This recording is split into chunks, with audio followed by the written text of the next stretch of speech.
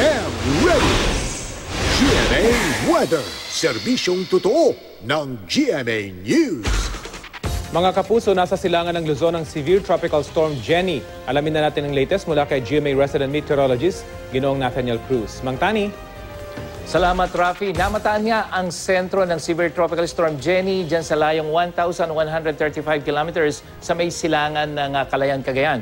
Taglay nito ngayon ang lakas ng hanging umaabot na sa 105 kilometers per hour malapit sa gitna at bugso na hanggang 135 kilometers per hour. Inaasahan kikilos ang bagyong Jenny pa northwest sa bilis na 7 kilometers per hour. At sa latest storm track ng ahensya, halos walang tsansa o mapakababa ng tsansa na maglandfall ang bagyo dito sa alinmang panig ng ating kalupaan. At dito sa bagal niyang pagkilos ay posible na lunis pa ng gabi, ito inaasahan na lalabas ng Philippine Area of Responsibility.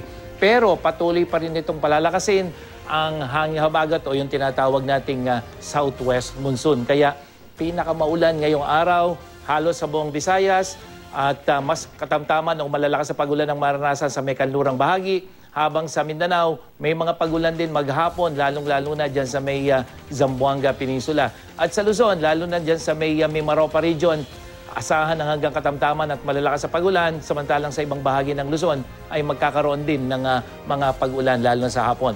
At dahil din sa habagat kaya mataas ang alon, dyan naman sa may eastern seaboards ng southern Luzon, dyan sa Visayas hanggang dyan sa may eastern Mindanao, kaya Babala po sa mga gumagamit ng maliliit na sakyang pandagat, iwasan muna ang mga seaboards na ito. Ma- Mang Tani, magiging maulan ba ngayong ah, long weekend? Ano po yung payo nyo sa mga kapuso nating balak mag-out of town at sa mga ah, may bahay na balak namang ah, maglaba? Mang Tani.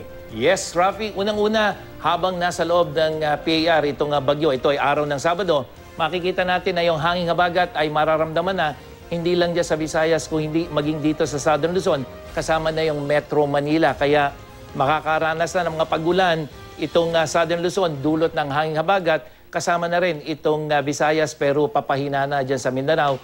At araw ng linggo, Rafi, na kung saan halos uh, nandito na sa may silangan ng Taiwan, yung sentro ng bagyo, yung hanging habagat ay ramdam na sa malaking bahagi ng Luzon at dyan sa Visayas. Kasi yung mga pagulan, Rafi, Araw ng linggo, asahan mo dito sa Metro Manila at ilang bahagi ng Luzon, maging sa Visayas pero sa Mindanao, mas maganda na yung lagi ng panahon. Kaya doon po sa mga maglalaba, lalo na sa Metro Manila, asahan nyo po yung pagulan, lalo na pagdating ng linggo.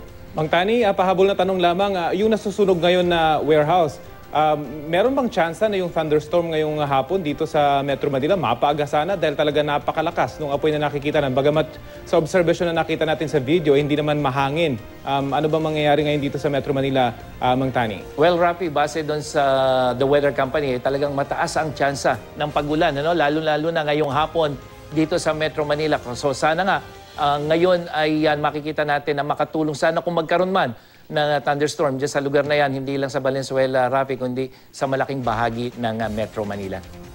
At yan ang latest mula sa GMA Weather. Ako po si Nathaniel Cruz. Magplano para sigurado. I am ready. Serbisyong totoo ng GMA News. Maraming salamat, Mang Tani.